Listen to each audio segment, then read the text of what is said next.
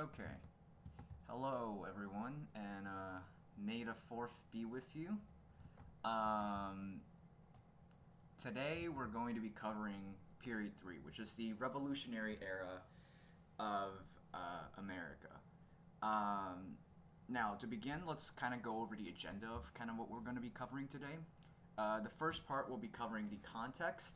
The second part is the uh, lead up to the revolution, as well as the revolution and the independence itself. Then we'll be covering uh, federalism uh, in the form of the Articles of Confederation and the Constitution, as well as we'll be ending with the first party system. Uh, so let's start it off. So first off, to begin the revolutionary era, we have to talk about the era beforehand, and that's the mercantile era. Uh, this is primarily dominated by British mercantilism, which is a form of zero-sum economics. I would highlight this uh, because this is very important to understanding mercantilism and is a massive reason to why the revolution even happened. Uh, so what British mercantilism is, is the idea that um, to hold maritime supremacy, basically to control the seas. And mercantilism is the idea of a you win, I lose situation. Basically, a belief that resources and economics are limited. So, uh, as kind of described by this picture here, it's a bit blurry, but uh, the mother country essentially takes resources and money from the colonies in order to prevent other nations from acquiring it. That is what zero sum economics is. Uh, it's vastly different from what we have today, uh, and this predominantly uh, ruled over up until the 1800s. Uh, so the British believed in maritime supremacy, and they primarily did so in the Columbian Exchange. And what the Columbian Exchange is, is this triangular, well, it's like a kite-shaped exchange between Britain, Africa, uh, America. So essentially the uh, Americas and the Caribbean would send sugar to uh, the 13 colonies, and the 13 colonies would send rum and goods and such to Africa. And in which case, Africa most most of the times uh, slaves would be exported from Africa right uh, straight to Americas. Uh, and this is where Amer uh, Britain tries to plays in. Now, Britain, in order to profit from their massive empire at this time, imposed tariffs on all of their colonies. And what tariffs are, are taxes that are imposed on the exporter. Now, basically, this means that instead of our regular taxes, where the person buying the product will have to pay extra for the product, the person who's bringing the product in will have to pay the tax. Therefore, they have to raise the goods price in order to compensate for the tax. It makes goods more expensive. But this allows for the mother country to uh, gain its own, uh, gain money out of it. Now, by common sense, British merchants terribly hate these uh, tariffs, especially the Navi Navigation Acts, which are the tariff, which is how the tariffs are being imposed. So instead of going straight through to Britain, which is what you would usually do to legally do this, uh, and legitimately do this, they would instead go to New World or foreign ports. So basically, instead of heading back to England to drop off their goods or sell them off because it's more expensive due to the tariffs, uh, they would instead go to, say, Spanish Florida or at this point, uh, French Canada, and they would drop off the goods, and the goods will make its way through land instead of the naval tariffs that exist. Uh, however, this actually made the British lose significant revenue because of the tariffs imposed, which ultimately led to a British depression, kind of an economic stagnation, which made them reinforce the tariffs, and it completely creates this new cycle of, you know, avoiding tariffs. So Britain tries to enforce the Navigation Acts to counter this. It essentially, there are three main ideas of the Navigation Acts that you should know. The first is that it forces all British ships to dock in England before trading in any of their colonies. So that means if they're trying to go to Africa, they have to go to England first to get tariff to drop off any products they have, and then they will bring a certain amount of those products to Africa, And then from Africa, if they want to head back to uh, the 13 colonies, they would have to go back to England, kind of like the Picnic is. And there will be Royal Navy ships enforcing this. As you can tell, that's not exactly too. Uh, it's not really a fair act, but it is how Britain is uh, keeping their place. Uh, secondly, only British ships could import or export into the colonies. That means that uh, essentially they're preventing Spanish, French, or any other nation from being able to trade directly with the colonies. They have to be, they can only trade via land. So this is to prevent the resource, uh, again, the siphoning of resources from the 13 colonies. And perhaps the most important part is that staple goods and important goods, such as tobacco and sugar, are only allowed to be traded into Britain. So this is kind of like an add-on to the second part, in that all of these important goods cannot, is not allowed to go to any of these countries or to Africa. However, the Atlantic is quite massive, so it makes the act very difficult to enforce. So instead, there's a creation of a smuggling ring, uh, whereby most merchants don't want to pay the tariffs and they don't want to uh, pay a fine by the Navigation Act, so they create smuggling rings to go under or to go above, and generally uh, avoid the British uh, British enforcement. And this creates the era. This kind of leads into the era that we'll, st- we'll start off with, and that's salutary neglect, which is the colonial prosperity under British maritime protection. Basically, when the colonies prospered under British naval protection, and it gave the colonies basically autonomy over their taxes and imports because it was very difficult to enforce the Navigation Acts, which dictated all of their taxation and import laws, which in turn actually had the counter effect, uh, counterintuitive effect of making it worse for uh, Britain to enforce it. So, up until 1754, from the 1650s to 1754, salutary neglect was the default relations between Britain and the 13 colonies. Now, we start off in 1754 because of a little, well, not little, it's a big war known as the Seven Years' War. Now, if you guys, if you've taken AP Euro, you would know what this war is. It's perhaps the first unofficial world war, uh, and it takes place massively, but we're not going to talk about that. Instead, we're going to focus on the French and Indian War, which particularly took place in the Americas. It's called the French and Indian War uh, because it's part of the Seven Years' War because it was the British fighting against the French and their Indian allies, their Native American allies. Uh, and this is kind of what the war took place in. It generally took place along the borders here. Uh, and this is the new border that was drawn after the British have won. They basically seized Canada. Uh, however, wars are very expensive, and the French and Indian War bankrupted the British and this again led back to the Depression. So the British are forced to violate the salutary neglect agreement that they originally held. So now let's go into the causes of how they violated into the salutary neglect. First off, there was this proclamation of 1763. This I would remember. This is semi-important. Uh, in the DBQ on your test, so remember, the, the test is open book, so I would write down as much notes as you can right now, just so you can refer to them on the test. First off, the Proclamation of 1763. It was a de- declaration that basically prevented expansion beyond this Appalachian, the Appalachian Mountains. Uh, and the reasoning behind this was that the British, after the war, managed to build good relations with the uh, Native Americans in this territory, so specifically the Iroquois Confederacy as well as the Navajo uh, in the Midwest. Uh, and a lot of colonists were kind of angry at this because up until now, salutary neglect also meant that, that they could expand however much they want. And generally, their expansion went from this black line that I'm drawing.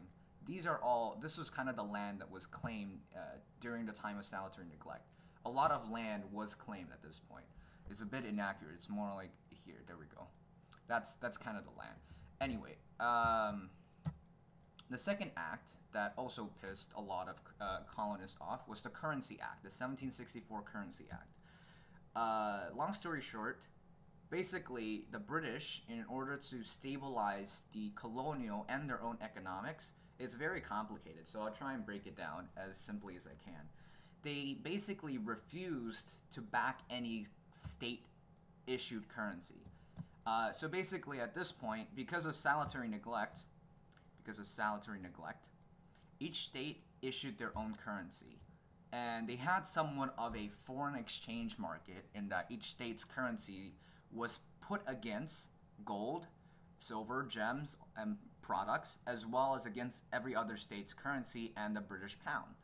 Uh, but the British, in order to stop these this kind of like recessive behavior, uh, simply just passed the Currency Act to refuse any future issued uh, soft currency, basically paper money. They would only take gold, silver, or gems, basically anything that has intrinsic value, not fiat value, not anything that is um, value whose base is based, based on uh, what people believe it's worth, but something that actually has worth itself.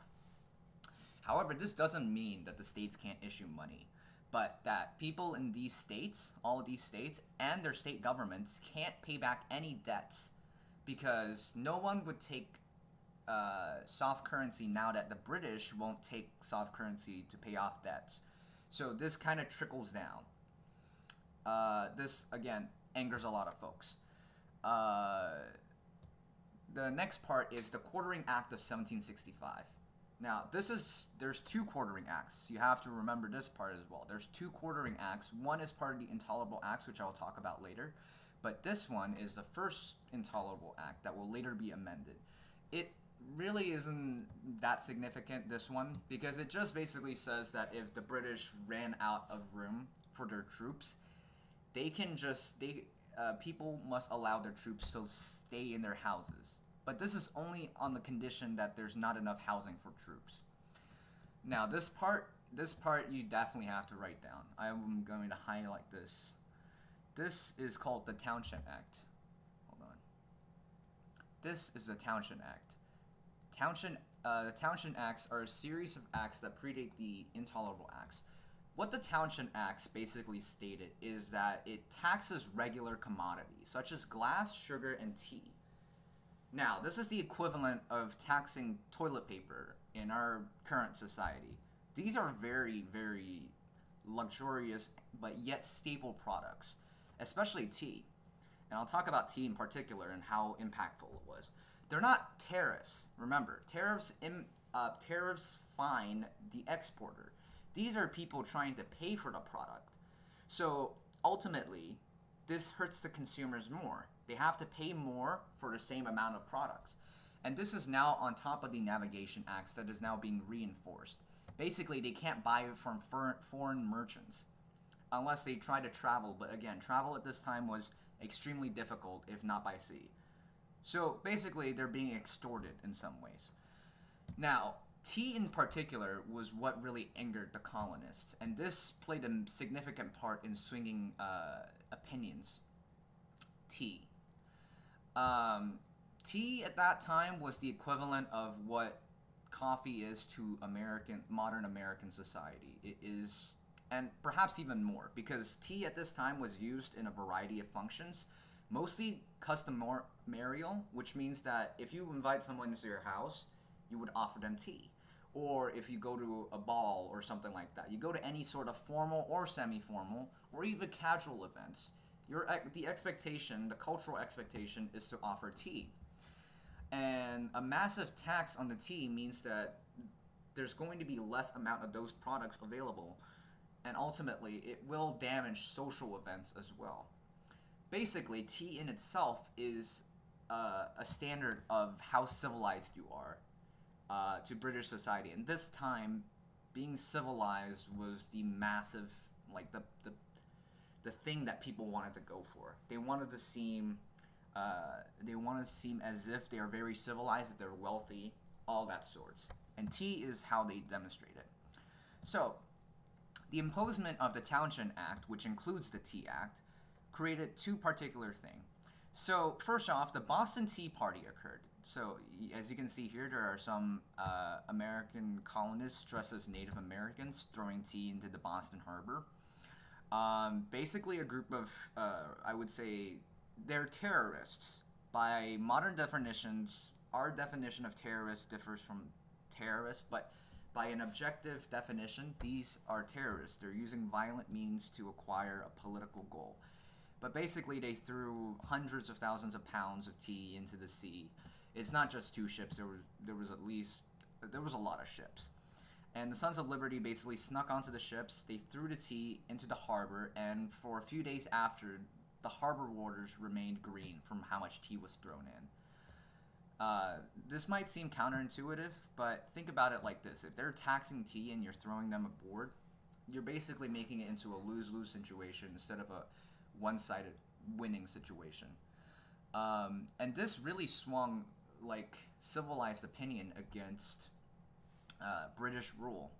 And here we can see a painting that displays the open resentment against British policies. This painting is called "The Bostonians Paying the Taxman," and it's de- depicting the tearing, uh, the tarring of John Malcolm, who was the Commissioner of Imports and Customs of Boston at the point. He was a. This is a famous representation of the growing dissent and hatred of the by the colonists of their British rulers.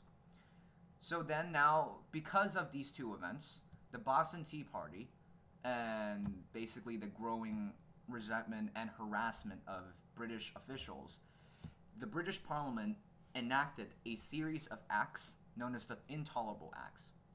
This is fundamentally important to understanding why the revolution occurred. This is not a good highlighter.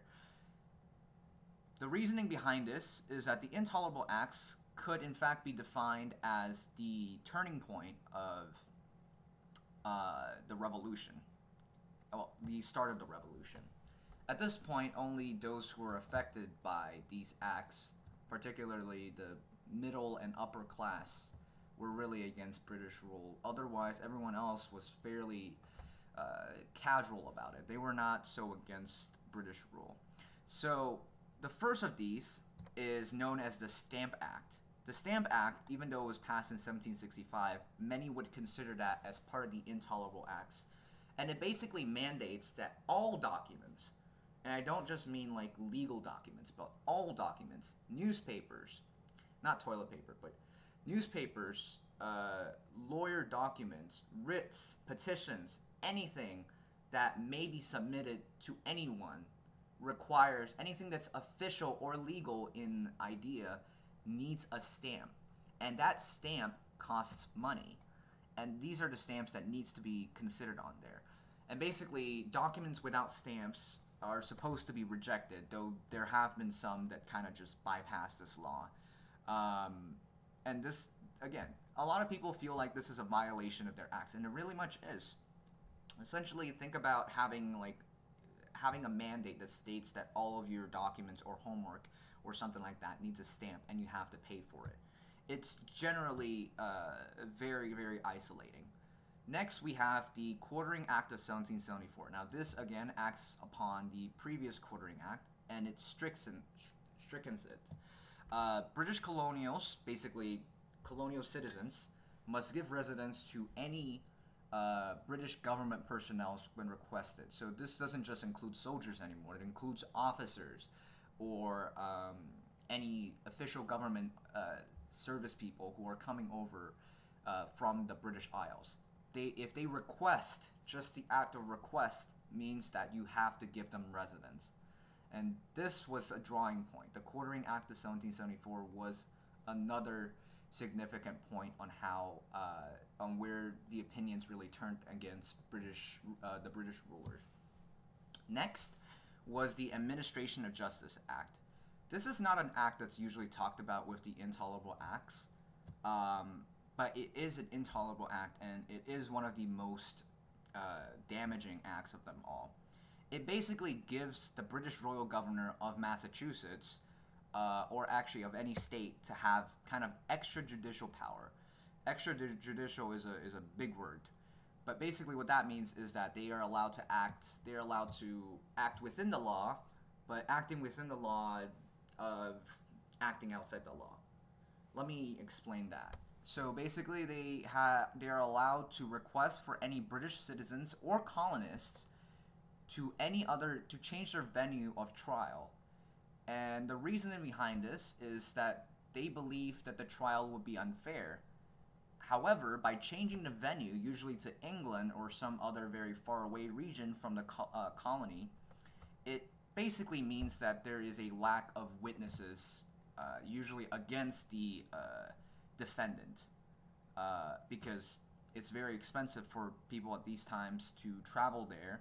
Additionally, they lose money just by going there because they, they can't attend to their business or work. And this is very infuriating in the context of Boston Massacre, and I'll talk more about that later.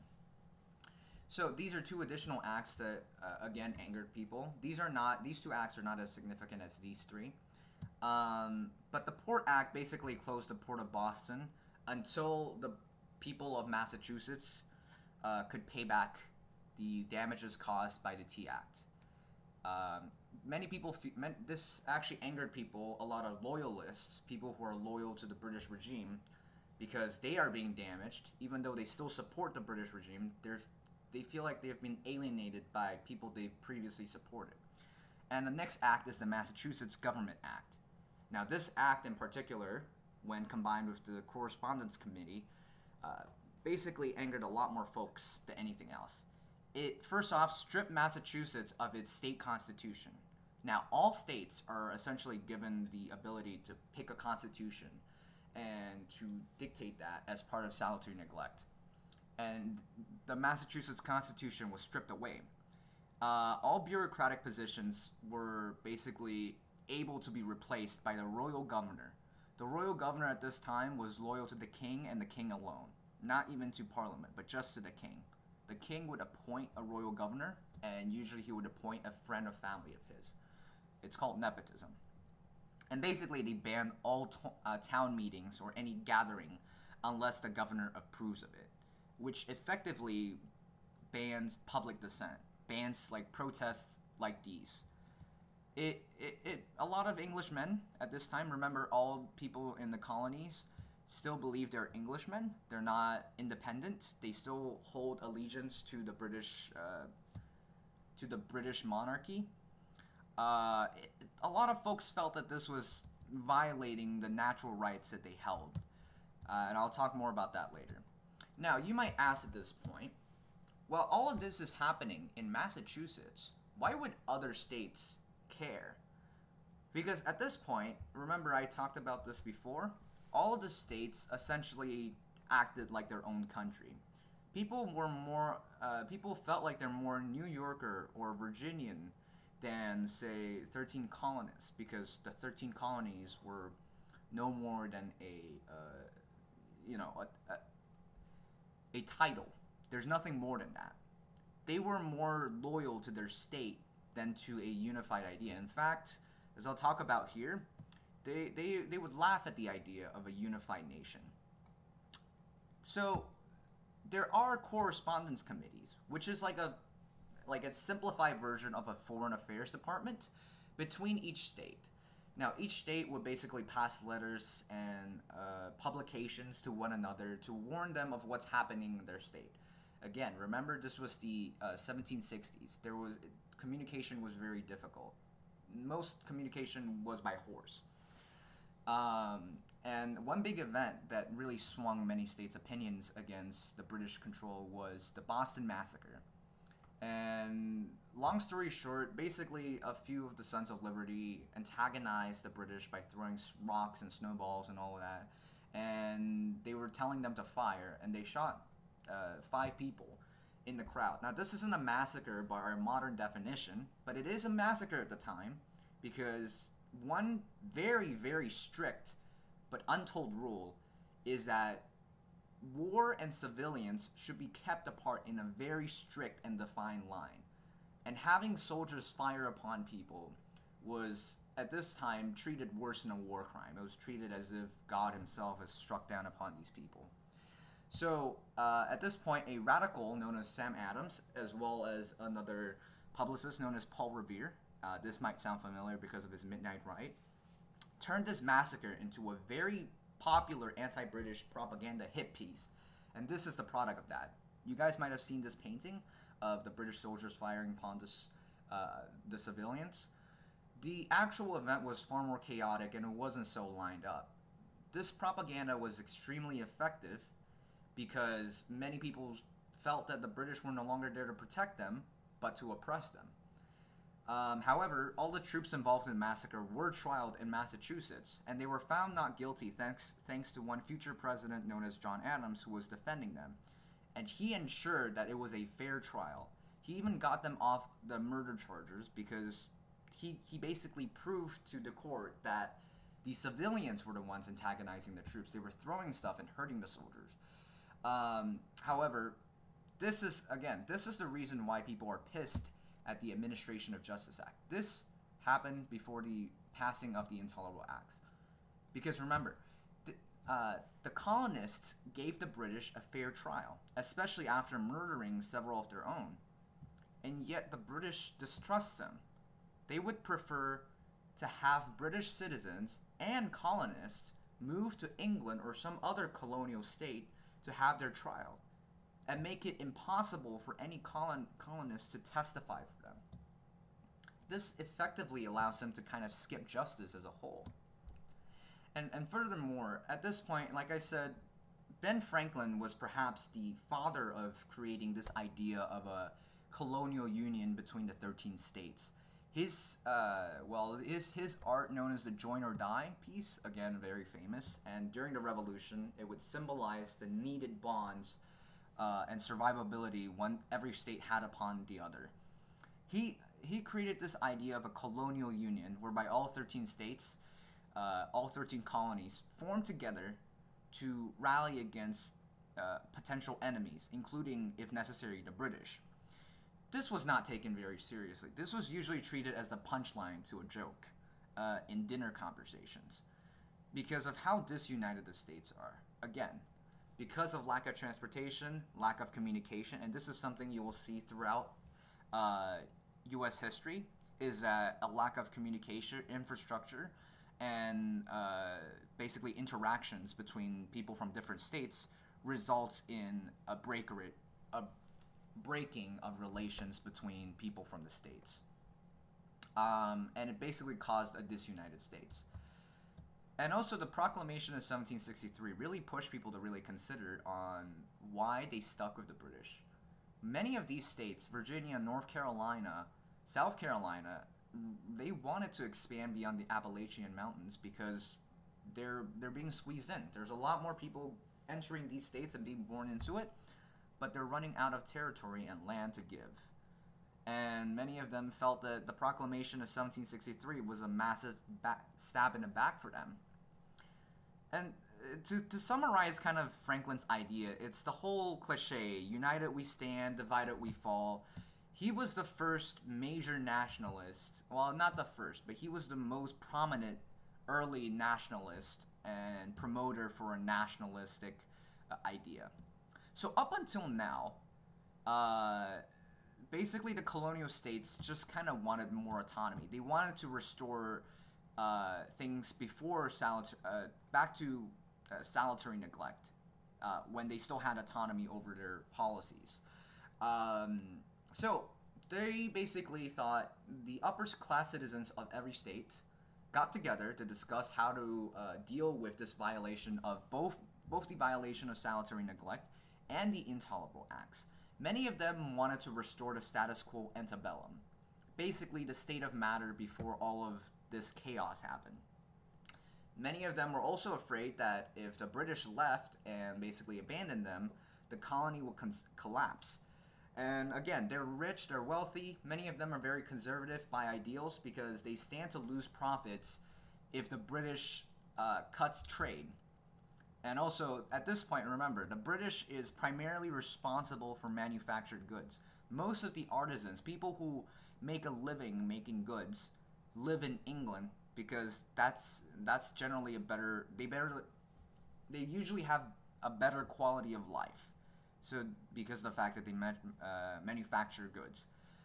Um, so the colonists, the first continent, they, the colonists formed the first Continental Congress, and they moved to petition the king, known as the Olive Branch Petition. And it's called the Olive Branch Petition because the olive branch is the symbol of peace. And that's exactly what they wanted. They wanted to restore peace and stability back into the colonial states, back to these uh, kind of these rebellious people, because they wanted the state to do well. They wanted the colonies to do well. And in the petition, they basically argued that the only way to calm down the states without going to war is to lower taxes and to pull back some of these uh, dangerously unconst- well, dangerously uh, tyrannical laws. Um, they also mentioned very subtly to not hang them because by forming this Continental Congress, they're denying kind of, you know, again, town meetings are illegal. This, by definition, is a town meeting. They're asking not to hang them and also to give basically colonists their rights back. Now, uh, as all good fairy tales go, uh, the king basically, before even reading this petition, declared that anyone who is rebelling at this point should be uh, punished by loyalists or by government officials, including soldiers, or hung. Because the rebels are, quote unquote, trying to create their own empire. Uh, and this this was a massive. I, I, I know I've said this a few times, but this is perhaps the uh, the the flint, the spark that really blew up everything. It this effectively swung many common citizens, because at this point, his his definition of who a rebel is, people who are just expressing their discontent, those are considered rebels. Those are considered seditious acts, and they could be hung for that. It changed the sentiments of basically regular common folks, people who weren't even that informed, people who loved the king, but now realize that the king might not be necessarily the best choice. It changed the sentiments of the average American, of the average colonist. And two pieces of documents best document this. First off, it's Thomas Paine's Common Sense. This was an art uh, literature hit piece by Paine, who was before the revolution a shoe shiner as well as a dressmaker. He basically worked with textiles and clothes. And then he came to America and wrote a very uh, significant seminal uh, literature that argued for independence.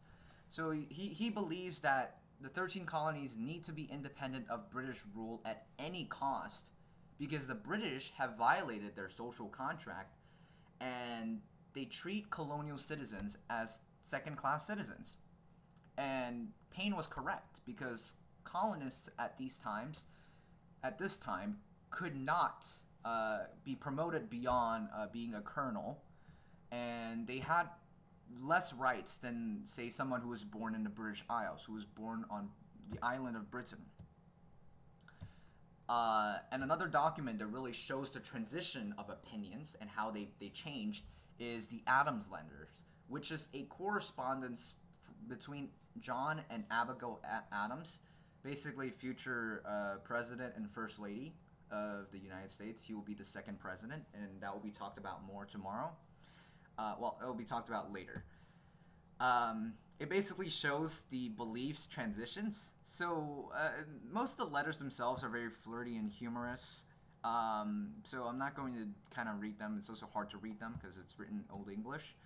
Um, but from 1762 to 1774, generally the attitude Americans held against British were basically accepting.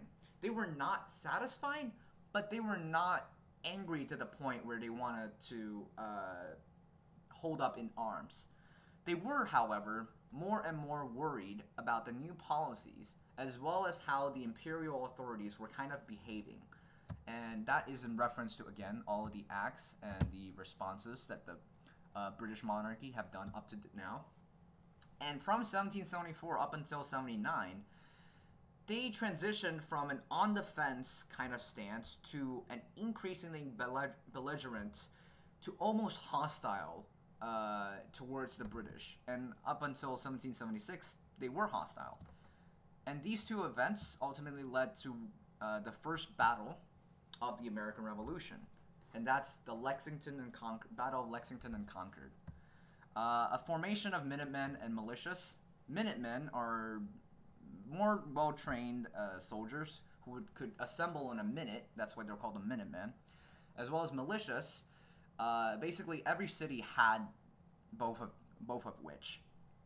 Um, and in the city of Lexington, as well as Concord, they were storing large amounts of munitions. Now, the British in Boston, th- these two places are close to Boston, um, found out that they were storing munitions, so they sent a larger dispatch of troops to go seize weaponry, only to discover that the weaponry was moved.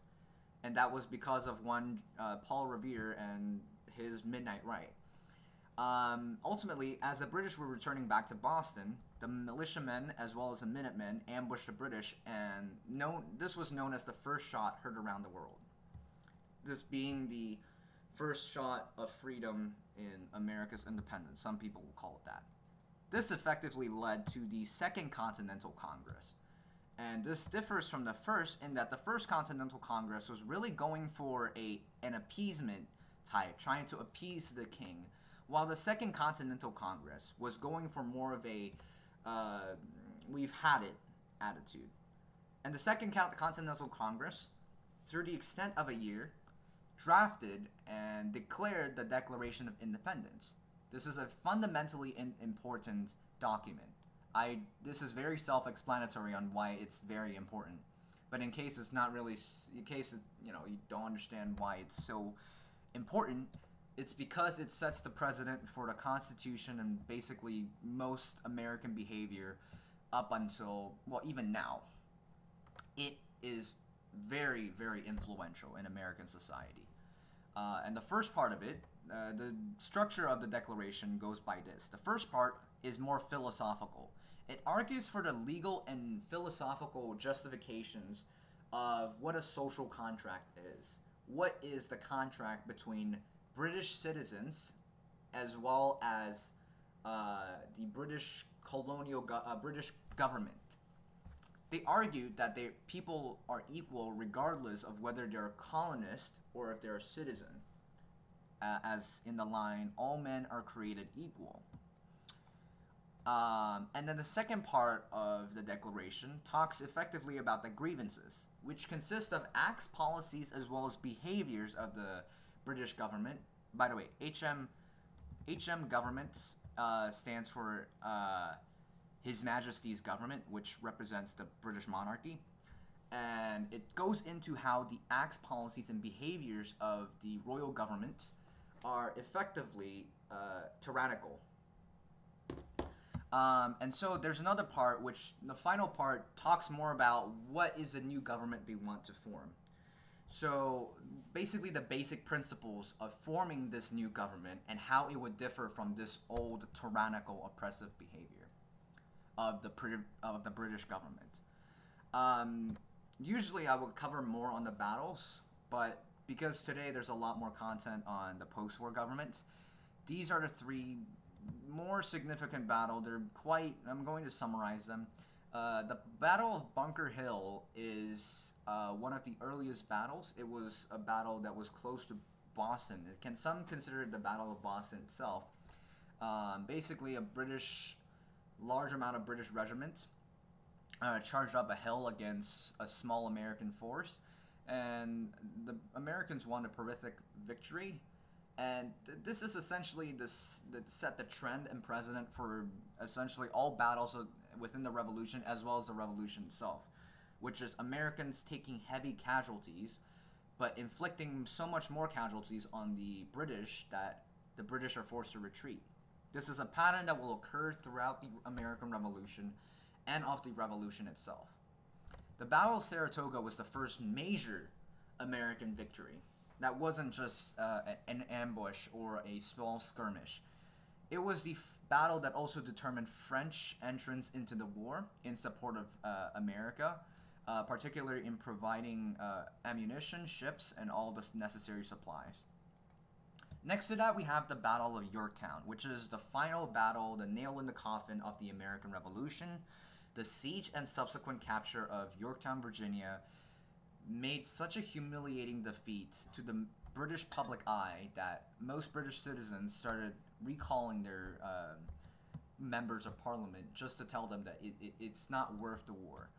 Uh, and at this point, it was costing more to fight the Americans than it was to try and get them get the Americans to pay up. Basically, the amount of money they were getting from the colony was so insignificant in comparison to how much money they're losing just fighting these colonists. And this is something that America's enemies will learn to utilize as a tactic later on. The end of the American Revolution saw the Treaty of Paris in 1783. The conditions of the peace uh, goes by basically these are terms that are uh, negotiated. The Americans uh, receive independence, but the British get to keep Canada, including the city of Quebec uh, and the city of Montreal that the Americans initially captured and then lost. The Americans received the Ohio R- River Valley, and this is very important. This is very, very important. The Ohio River Valley is the first massive expansion westward. Uh, I would talk more about the Northwest Ordinance later on, but the Ohio River Valley is a very, very fertile land that will prosper America forward by at least half a decade.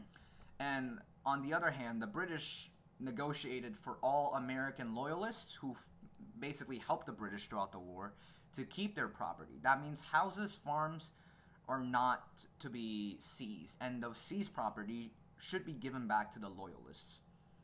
Uh, these are two terms, however, that these two terms, the British removal of forts, which the British promised to remove forts all over America or to hand them over to the Americans, that's a term that the British won't keep and would be a uh, catalyst for the War of 1812. And the British also made the Americans to try and promise to not expand beyond the Appalachian Mountain.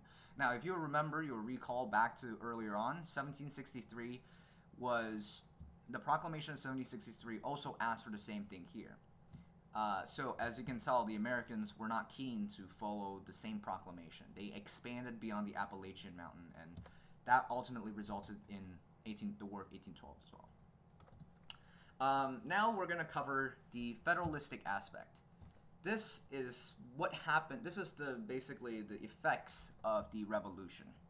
So after they've won the war, the Americans are wondering what should the post-war government be. They don't want a monarchy because the monarchy was tyrannical, oppressive, and enacted a series of acts that they had no voice in. Um, so they went back to the Magna Carta, which is the original founding document for English, which is like an English Bill of Rights. Not the English Bill of Rights, but a Bill of Rights. It basically imposed check and balances against an executive, and the executive being the king, uh, by the nobles, which at that time was the legislative body.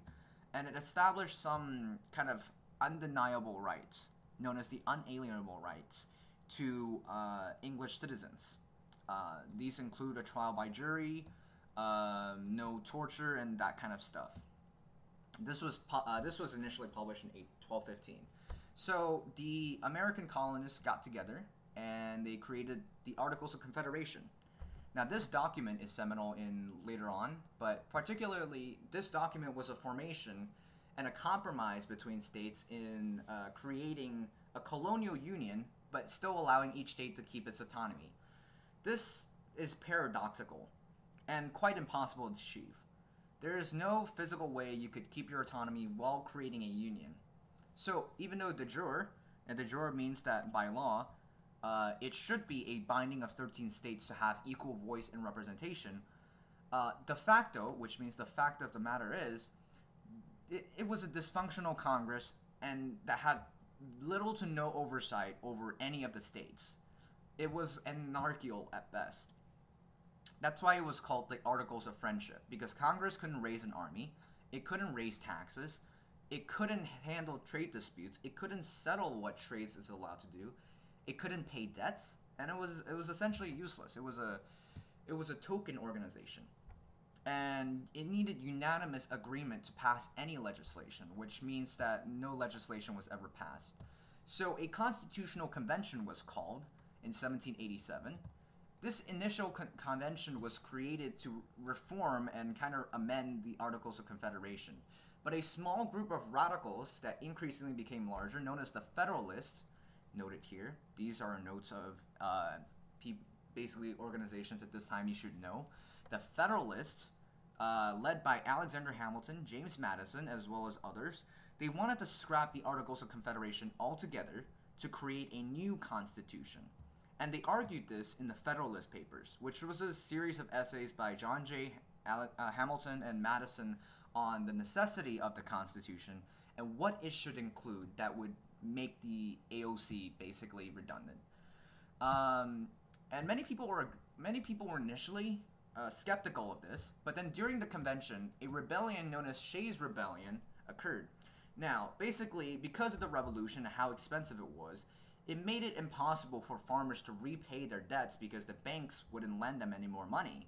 So they foreclosed their banks, and many soldiers were not getting paid. They were paid in bonds, and Hamilton would later fix that.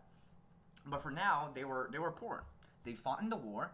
They didn't get any money. So one Captain Daniel Shay, who also fought in the American Revolution and was a drunkard, he and a bunch of boys got together with uh, some now homeless farmers, combined force to create an armed uprising, which forced the state of Massachusetts, which was where this was all taking place in, to basically like mobilize its entire reserves to fight them, and it wasn't enough. Uh, it got so bad that uh, at this point, the con- Congress had to authorize pay- to pay mercenaries or retirees to help put the rebellion down, and states did unanimously agree to that. And you know, people did not want a repeat of this happening, and this was a result of the AOC being incompetent.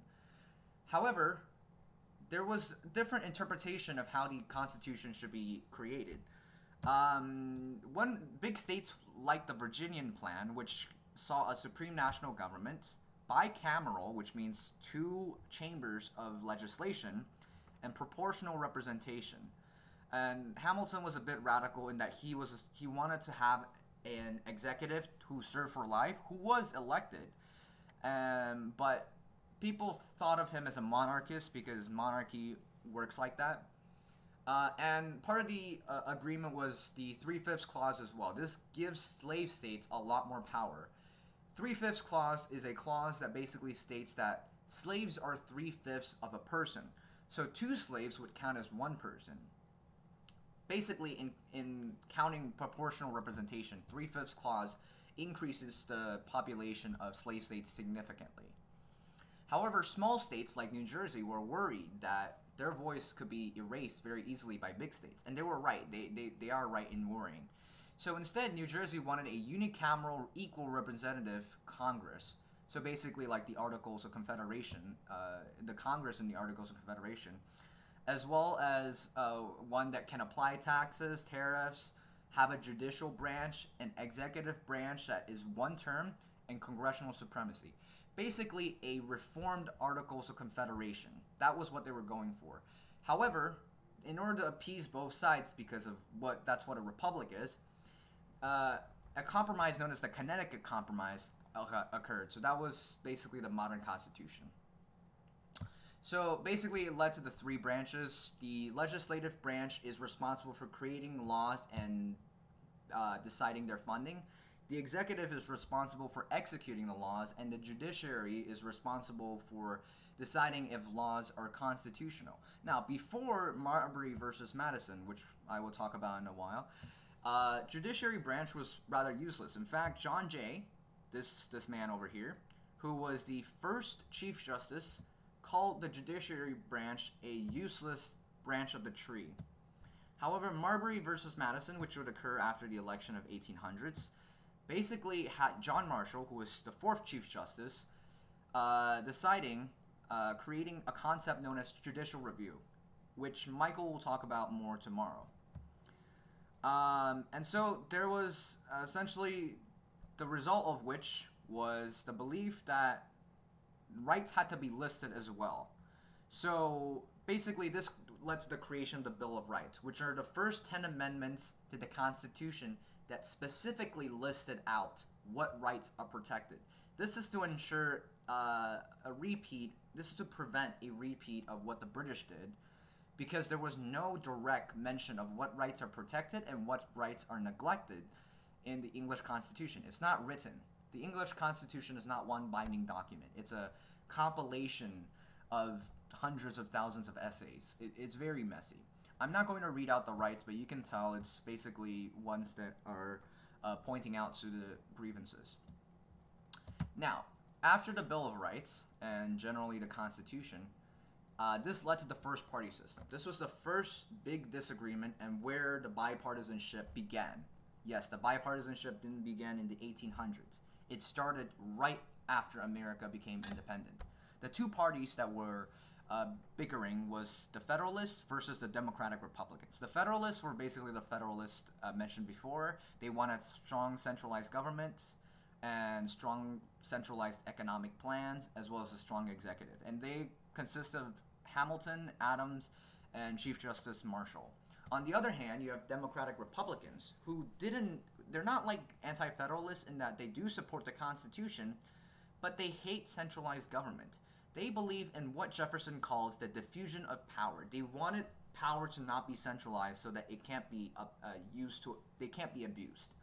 And the main leaders of those is Jefferson, Madison, and Burr. And Madison was a Federalist, but the return of Jefferson from his post in France kind of made made him realize that maybe the big states are trying to take advantage of the situation. So the first party system was basically a series of political battles. The first of which was over the U.S. economy. Now this is very long, so I'm going to summarize this. The Federalists basically believe in what is known as Hamiltonian banking, uh, which is more popularly known as the National Bank Plan. They wanted to create a centralized national bank to issue a national U.S. currency and replace all state currencies with a national U.S. currency to pay war and public debts as well as private debts. Uh, and also, it would sell bonds to wealthy speculators to create safe and slow returns to control the currency flow. These are very complicated uh, economic ideas, but basically, he wanted to stabilize the U.S. economy by creating a centralized economic force. The Democratic Republicans, however, despised this. They wanted to keep the status quo, the current state. They wanted to uh, continue having state banks issue the cur- uh, state currencies, which are basically giving states more power in their economies, uh, that ultimately still continued basing against hard cu- currency as well as other state currency. And they hated how Hamilton wanted to uh, have this kind of federalistic view on paying off debt. The argument was that Virginia shouldn't have to fill the shoes of New York just because New York, uh, New York, if New York has debt that Virginia has to kind of weigh in on it, he was very much against that. Um, and ultimate, ultimately, he hated the banking system, Hamiltonian banking, because he believes it would centralize wealth and prosperity in the North, particularly those in Wall Street, who will benefit most from the safe and slow returns of bonds and not the poorer farmers and common citizens who can't afford those bonds or could only afford smaller amounts of those bonds. Ultimately, George Washington sided with the Federalists, creating the first national bank and chartering that for 20 years. The bank, however, was privately owned. The government only held one fifth, basically, the government only held one fifth of uh, a share and control of the U.S. bank. Uh, in terms of foreign affairs, which is the second battle, the Federalists were very much against uh, were more pro-British, which made them look like traitors because a lot of them were again wealthy merchants and bankers who, ha- who are still close with many British uh, tradesmen and all that. The Democratic Republicans supported Jefferson's idea of a post-revolutionary France. They see it as like like a brother of sorts. France at this time was uh, before Napoleon, but after Revolution. So it was anarchical, which is also why they were afraid because they, they thought that the French were too anarchist. Um, and they also believed that America was repay the debts to France uh, that it occurred during its revolution. Without the funds from France, the Americans could not have won the American Revolution. So Jefferson believes that America should go to war with Britain to help pay back its debt to France. The Federalists basically said that's not going to happen because the debt is owed to a previous regime. Uh, also, most Democratic Republicans are kind of like lower class, so they relate to uh, the French peasantry who created the revolution. Ultimately, Washington again sided with the Federalists. They issued a neutrality statement, And a neutrality statement effectively meant that the British, the Americans were against France. And this picture depicts the Quasi War, which was an undeclared but very deadly war between France and America. It defaults its war debts and it basically established the first trade agreement, known as the Jay's Treaty, which basically created trade relations between France, uh, between Britain and America for 10 years. Uh, now into the expansion of the West. Basically, the Whiskey Rebellion was this small uprising created mostly by Democratic Repel- Republicans who were very much upset on the 50% tax on the on whiskey. It's called the whiskey tax. And they basically believe it's like a reincarnation, like a reenactment of the Townshend Acts, which Americans revolted against. And Washington and a few of his generals led the uh, Continental Army, which is now a thing because of um, the Constitution, to put down the uprising. And it established this uh, supremacy, this precedence that federal power is over that of common citizens. And then there was a Northwest Ordinance. This is slightly insignificant. You don't really have to remember this. It's good if you write it down anyway. It basically established a method for distributing land, and it set down this concept that states will no longer be allowed to expand their land. Rather, uh, new states will be created in the Western territories. And it temporarily set slavery to be prohibited beyond the Ohio River. And up until the end, so Washington led his farewell address that basically states that a two party system is dangerous and it sets a precedence that Americans will be bitted against each other. And he was right. Uh, right after this, the Federalist and Democratic Party went against one Democratic Democratic Republican Party kind of went head to head against each other. And he believed that this partisanship will paralyze the government and then the nation. And he was right. In 1798, Adams became president. When Adams was president, he issued the Aliens and Sedition Act.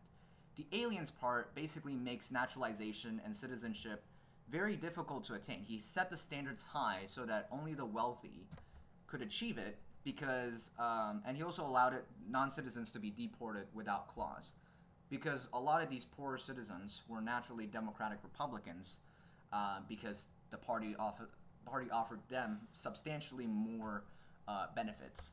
And the seditions part is very unconstitutional. It basically criminalized making any false statement against the federal government, and it was used primarily to prosecute uh, the press owners of pro Jefferson, uh, pro Democratic Republican newspapers. So, in response, the Democratic Republicans published the Virginia and Kentucky resolutions, which basically their idea is that states have the right to nullify any federal law it believes is unconstitutional. This I would write down in your notes uh, because it will be brought up again. Nullification also basically allows the state governments to bypass any the supremacy clause in the Constitution and it believes that the Alien Seditions Act is a violation of the First Amendment. And this, in fact, would ultimately be the result of the Democratic Republican victory of 1800s, which Michael will talk about more tomorrow. And that is basically the Revolutionary Era. Um, I hope that was clear. If there's any part that is not clear, feel free to ask questions on our Discord. Um, this video will be available up until uh, AP exams end. You can come back anytime to review. If you have any questions, again, ask on Discord. Uh, and please donate to our donation campaign.